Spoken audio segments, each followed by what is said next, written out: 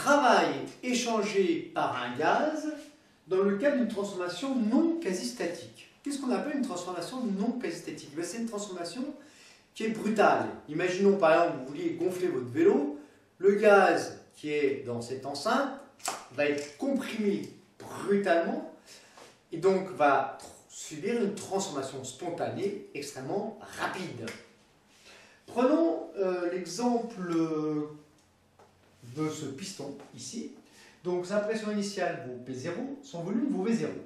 Ce piston, il est composé ici d'une paroi de masse petit m, de surface petit s, et on a contrebalancé la masse de cette paroi par un système contenant deux poulies auquel on a accroché une masse petit m. Alors, si on écrit la somme des forces extérieures qui agissent sur cette paroi de masse petit m, que vaut-elle? Eh bien, le poids P, son poids P qui vaut moins mg puisqu'il est orienté vers le bas. Ensuite, il y a la tension T qui est orientée vers le haut, plus mg.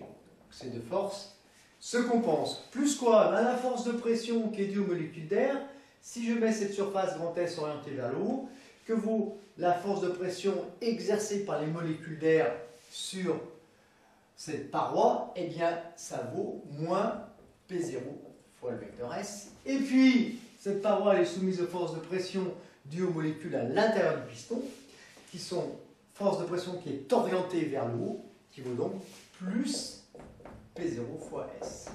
Donc le tout est égal au vecteur nul, l'ensemble est en équilibre. Je coupe le fil. Qu'est-ce qui se passe Eh bien, d'un seul coup, qu'est-ce qui se passe? Quand on coupe le fil, le poids P n'est plus compensé par cette masse, et donc cette paroi, elle va descendre et comprimer le gaz. La nouvelle pression vaut quoi? Pression extérieure. P0 plus le poids P divisé par S, hein, puisque vous savez que la pression exercée, force de pression exercée par euh, cette paroi est égale à quoi? Eh bien, vous savez que la pression, c'est la force divisée par la surface, et la force, c'est mg divisé par la surface. Donc la pression extérieure vaut P0 plus mg sur S. À l'instant t égale 0, on est à l'état initial. La pression extérieure est donc égale à quoi? P0 plus mg sur S.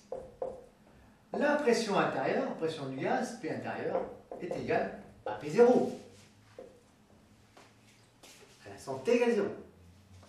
Donc on voit que la pression extérieure est différente de P0. À l'état final, à T final, qu'est-ce qu'on a? Eh bien, l'équilibre s'est installé, évidemment, après un certain nombre d'oscillations, hein, suivant le système. Et qu'est-ce qu'on a à ce moment-là? L'état final, on a la pression extérieure qui est égale à la pression intérieure, qui est égale à P0 plus mg sur S. Le volume final valant Vf. Alors maintenant, à vous de travailler. Trouvez-moi l'expression du travail échangé par le gaz au cours de cette transformation en fonction des paramètres ici, en fonction des variables d'état du système.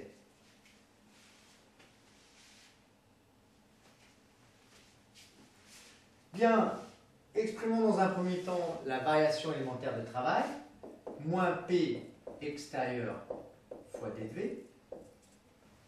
Ici, on voit qu'au cours de cette transformation, la pression entre l'état initial et l'état final n'est pas définie. C'est une transformation non quasi-statique. Donc, je n'ai pas le droit de dire que P extérieur est égal à P intérieur. Hein. Par contre, j'ai le droit de dire que la pression extérieure, elle, elle est constante. Hein. Elle vaut quoi? P0 plus Mg sur S. Donc, ça nous fait moins P0 plus Mg sur S fois dP et maintenant, si je veux le travail total, W, eh bien il vaudra quoi? L'intégrale des sommes des travaux élémentaires, c'est-à-dire intégrale euh, de V0 à VF, de quoi? De moins P0 plus mg sur S fois dV. Je peux sortir P0 plus mg sur S, la pression extérieure, elle est constante, ce qui me donne le travail qui vaut moins P0 plus mg sur S, attention ici, la parenthèse est bien là, facteur de poids, eh bien, dV, donc pris entre VF et V0, donc fois VF moins V0. Au passage, ceci, c'est négatif. Moins par moins, ça va être positif. Le travail est bien positif. Pourquoi? Parce que le gaz reçoit du travail du milieu extérieur, donc reçoit de l'énergie du milieu extérieur, donc pour lui c'est positif. Bien, en conclusion, qu'est-ce qu'une transformation non quasi-statique? Eh bien, au cours de cette transformation, il n'y a pas d'homogénéité du système, c'est-à-dire les paramètres intensifs dépendent de la position du point. Paramètres intensifs, c'est quoi? La pression et la température. En effet, quand je commence à couper le fil brutalement, eh bien, la première couche de molécules ici a une pression sans doute plus grande que celle qui est là. Donc on n'a plus d'homogénéité de, des paramètres intensifs. Et deuxième chose, le système est constamment en déséquilibre vis-à-vis du milieu extérieur. Hein. On a vu l'état initial, la pression extérieure est différente de la pression intérieure. Cette pression extérieure est différente de la pression intérieure, sauf quand, eh bien, à l'état initial hein, et à l'état final. L'état initial juste avant t égale 0, eh bien, on était en équilibre ici. Et puis à la fin, quand l'équilibre est à nouveau atteint, on a effectivement à ce moment-là la pression extérieure qui est égale à la pression intérieure. Mais tout au long de la transformation, ce n'est pas le cas. Attention.